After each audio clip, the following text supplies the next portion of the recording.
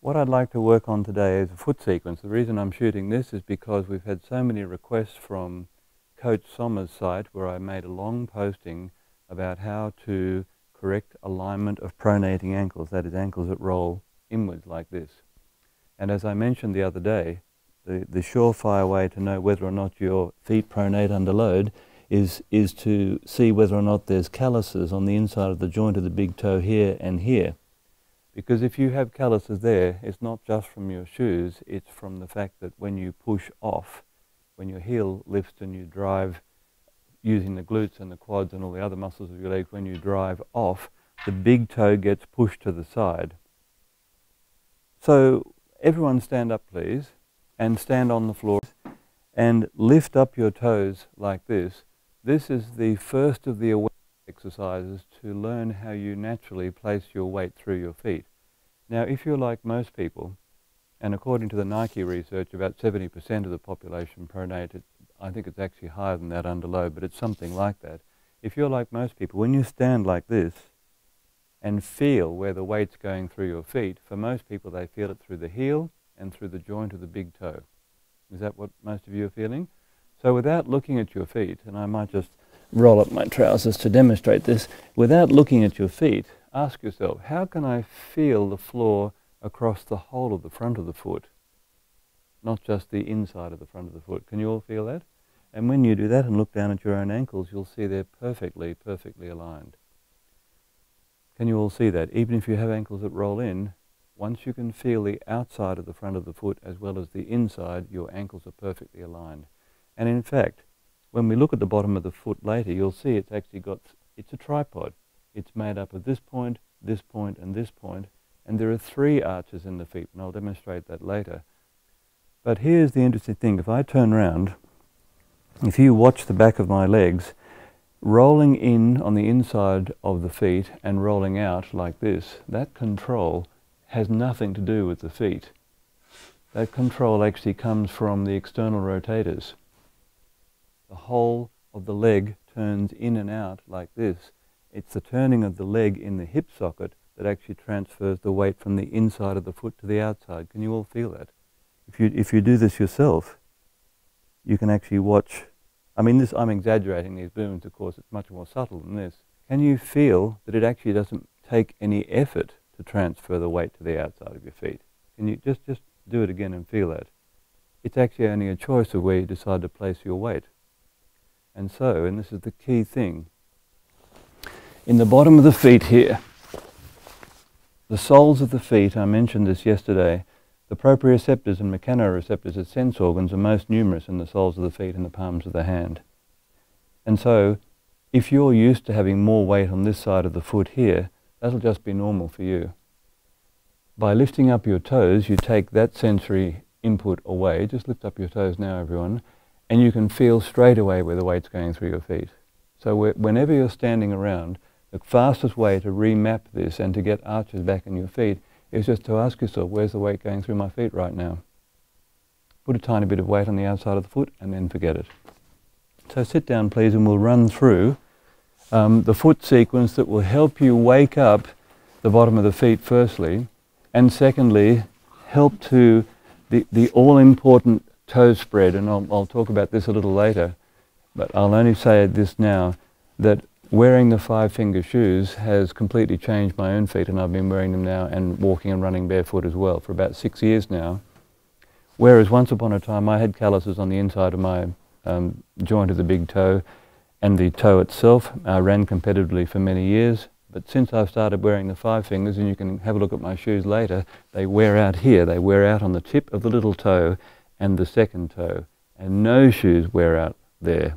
Shoes always wear out in this part of the foot here. So what happens, once the bottom of the foot is stimulated by um, things sticking into the bottom of it, literally, what happens is the whole foot does this action. All the muscles in the foot become immensely stronger. This circumference around here is increased by about 10% in six years. And that's all muscles that are intrinsic to the foot. So the sequence this morning is designed firstly to get the foot as mobile as possible, and you're, you're about to find out just how rigid your feet are, as mobile as possible and as strong as possible. And once, once the brain's connection to the bottom of the feet is woken up, you'll find that automatically, especially if you prompt yourself every now and again to put weight on the outside of your feet, you can change the alignment of your feet in about a year or so. Providing this bone here is not displaced medially, and no one here in the room has that, um, that's true flat feet, um, you can change how you, your brain uses the feet in a very short order. So this is how we do it. First, please put your um, foot, one leg up on the other leg like this. And now watch, I'm going to pull the little toe down like this and insert my finger. And then watch the next, you simply interlace your fingers in between your toes and watch, try to pull the fingers right into the foot. Oh, that's just, Julie, you should see the look on your face, dear. It's priceless. And please don't tell me, we've heard every variation on the proportionally challenged argument you can possibly imagine. I've heard guys say, listen, my, my fingers are like sausages. There's no way I'm going to. Of course. okay, so you've got your hand, you've got your. Has everyone managed to do that? And Jerry, you'll want to pull your fingers as deeply in as possible, and it will feel uncomfortable in the beginning. The mm. first time I ran this sequence in class, you should have seen the looks, the, the resentful looks that I was getting from people. But I just remind you, these are your feet. My feet feel fine. Okay, so, so you've got your fingers in there. Now watch.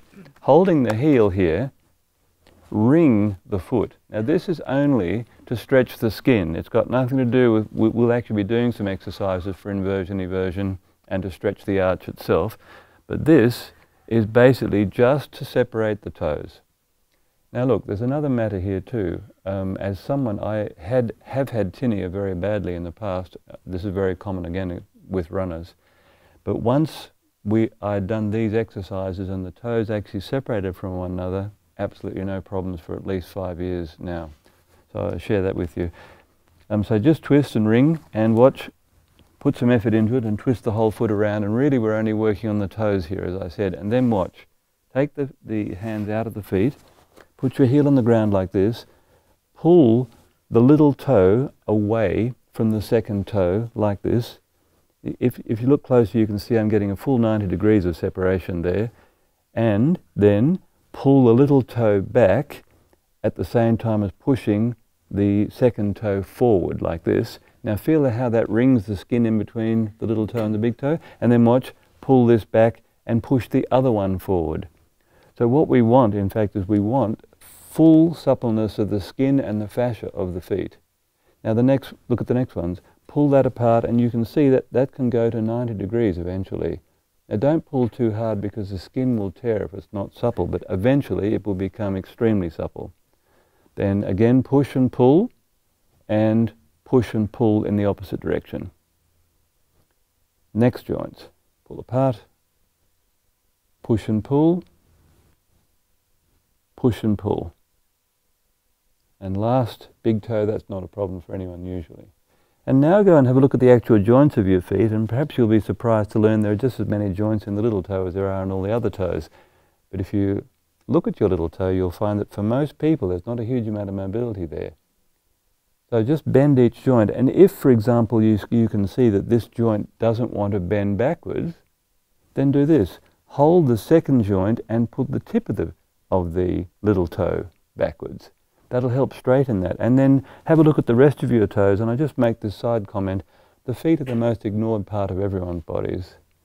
So then if you look at this joint here, I've injured this one in the past, so I'm going to hold the second joint and pull the tip of the toe up to stretch that joint. Same with the next toe and the next toes. Then grasp the toes and wring them like this. Twist and pull. Twist and pull. Twist and pull.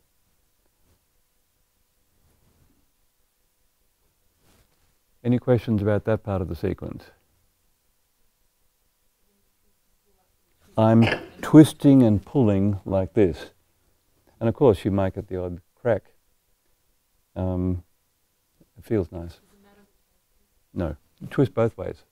Sorry, I did like this and like this. We're trying to wring, wring all the skin out. And then watch. Get into the position like this. Now see how I pull that little toe out, and if I turn and face away from you, It depends on the design of your foot. What we're trying to get is we're trying to get the whole of the ball of the foot on the ground here. Now if, if in your feet, if this little toe is set well down the foot, you're going to need to have to press the heel out slightly. Let me just show you what I mean by that. In order to get the whole of the ball of the foot on the ground, you might need to press the heel out slightly like this. But the exercise that we're going to do we want at least 90 degrees bend in the, in the toes here. Now watch what I'm doing. I'm leaning my whole body's weight down through this arm. And then, watch the knee here. While keeping the ball of the foot on the floor, I slide the knee forward until I get a stretch in the foot. Can you all feel that? you should see the look on your face then. And then, of course, a contraction can be done press the toes of your feet through the floor as though you were trying to point the toes. Can you all feel that? And stop. You know, I love that look on your face. And then what? Slide the knee a bit further forward. Now see the bend that we're getting here? We want at least that.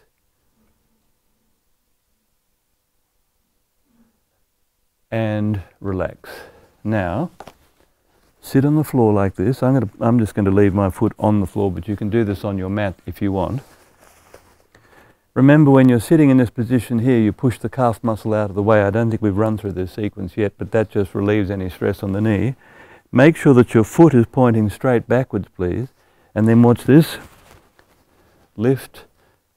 If you lift the knee straight off the floor, keeping weight on your hip, you stretch the arch of the foot. Can everyone feel that? But if you then lean away from the hip a little and lift the knee up higher and then put weight on it, you're actually stretching your toes. Can you feel that? Different part of the foot. Now try to drag the toes through the floor towards your knee and relax. Put a bit more weight on that hip and lift up a bit further. Now, some of you are going to find that when you stretch this, the instep of your foot, that the muscles here are going to cramp. And if that happens, put the foot into this position like this and simply press the knee forward like this and relax. And when you're ready, stand up. And now, spread the toes apart and you should be able to see immediately by looking at your feet which foot you just worked on. Look at the difference here and here. yes, there's that. And, and also, one, the toes just spread apart like mad, and in the other, well, I've, I've watched people in, in very frustrated trying to get their little toe in particular to move. And so I've seen people concentrating, get move, move, move, and nothing actually happening in the, in the little toe. Now, in the beginning, when I first started doing these exercises, all my toes were together. This is about six years now, and they're all separated, and wearing the five fingers helped that enormously too. So should we run through the sequence on the other side? And also, I don't know whether this is, this is a stretch if you'll excuse the pun, but when you feel the bottom of your feet, can you feel the foot that you've worked on? Is it different to the other foot? It's completely different, isn't it? And there was actually something I missed out in that sequence, so we'll go back to the same foot and let me just put this in now. In this position here, what I want to do now is I actually want to turn the forefoot as far as possible in both directions. So this is how we do it. You wrap your fingers around the top of the foot, you place the thumb against the ball of the foot like this, and you literally put the other hand over the top, and then watch, with the ankle at about 90 degrees, you literally turn the, the, the sole of the foot up to the ceiling. Can you all feel that? That's a massive stretch for these muscles here, and if you've ever sprained your ankle, it will also stretch the ligaments here too. You can probably feel that. Now try to twist the foot back in the opposite direction and go further. This whole sequence, by the way, is in the unnumbered lesson which no one ever reads. And then turn your hands over and watch. Stretch the foot the other way. We want maximum mobility in the foot in all directions. And you can also do a contraction here too. If I go like this, then try to twist back the other way and go a bit further. Now, when you're, when you're just jogging, each part of your foot takes it around two and a half times your own weight. These are immensely strong structures.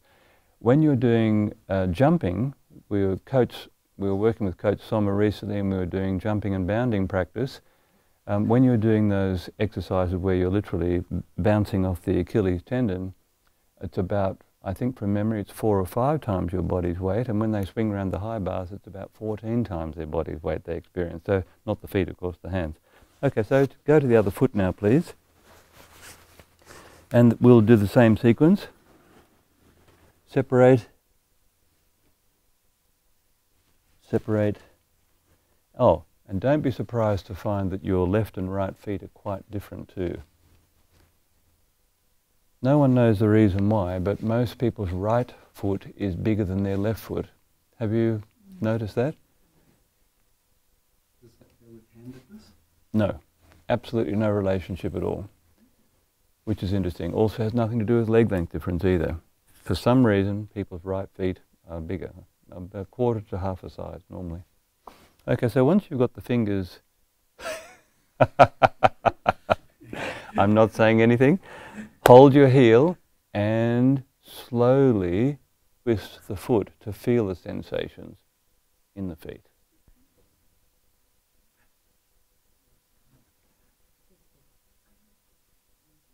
And really wring the foot out. You'll, it'll be more intense, by the way, if you can really pull the fingers right into, in time, you'll be able to pull the fingers right into the joint. Okay, so then, there's another thing we can do. Squeeze the fingers together like this around the toes, feel that? And then drive the heel of the palm into the bottom of the foot to pull the toes out of the foot. Can everyone feel how to do that? Yeah, like that. And then out. Start with the little toe side of the foot. Pull that toe out to the side as far as you can. And this one is a bit bent on my foot. I think I've broken it before. So I normally give it a bit of a, a straighten as well. Pull out wide like this. And then watch.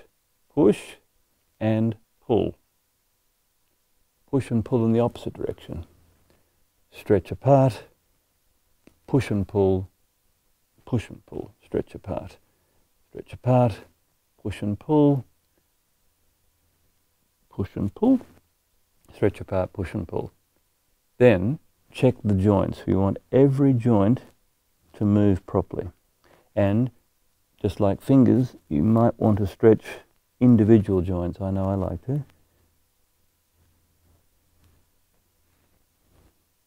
And then twist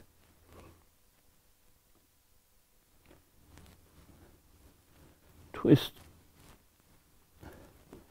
twist.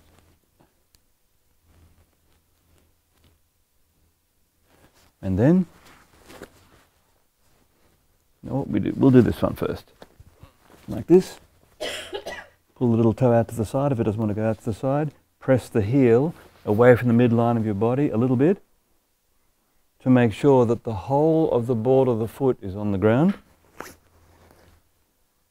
and then watch to get the stretch lean your body's weight through this arm like so and press just slide the knee forward along the floor.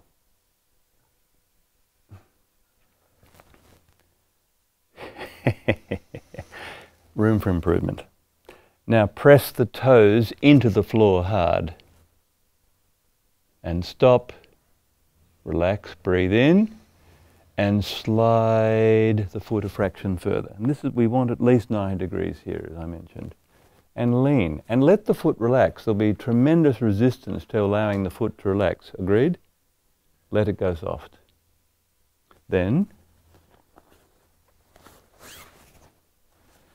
make sure the foot is pointing straight behind you. When I say straight behind you, this is what the foot wants to do. It wants to go in like this. Don't allow that to happen. So straight behind you. Let's do the stretch in two stages. This is what I mean. Here, while leaning weight on this hip, if you lift the knee off the ground, you'll feel a stretch in the instep. Can everyone feel that? So in that position there, we can, we can repeat the contraction, try to drag the, the toes through the floor, relax, and then that's an instep stretch. And you can't possibly have a good foot point unless the instep's loose enough to allow that to happen. Is that obvious? Then watch, lean away, lift up onto the actual toes themselves, and then lean weight back onto the foot. And now stretch the toes. Jane, I wish I had the camera on you. That face is priceless. Just remember, everyone, this is your body hurting you, not me. Breathe and relax. Let everything go soft. And if the foot cramps, this is where it'll happen, then just do this. That'll settle it down immediately. Notice though, when you get those cramps, that as you stretch your feet this way, hmm they become less. Absolutely, absolutely.